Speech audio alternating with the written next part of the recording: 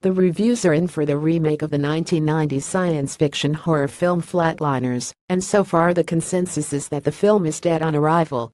The film follows the same premise as the Joel Schumacher original A group of medical students die and revive themselves in order to get a taste of the afterlife.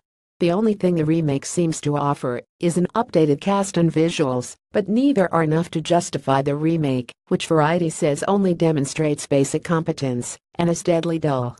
Currently, Flatliners has not received any positive reviews and sits at a 0% on website Rotten Tomatoes.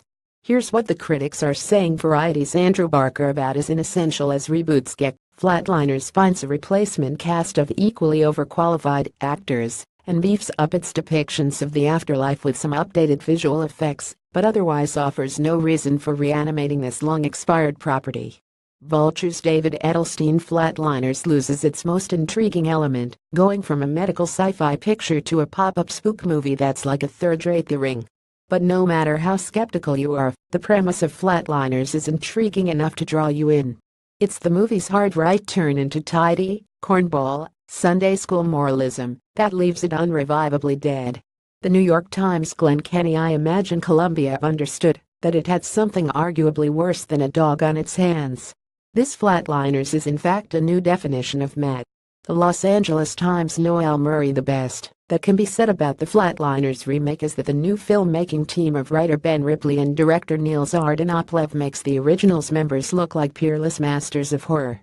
IndieWire's David Ehrlich Once upon a time, Hollywood used to cook their crap with at least a modicum of care now, its hit and run horror movies are just kind of insulting. The movie builds to the realization that asking people for forgiveness is a lot easier than forgiving yourself, but it's hard to imagine anyone offering audiences an apology for this debacle. It's even harder to imagine those audiences accepting one.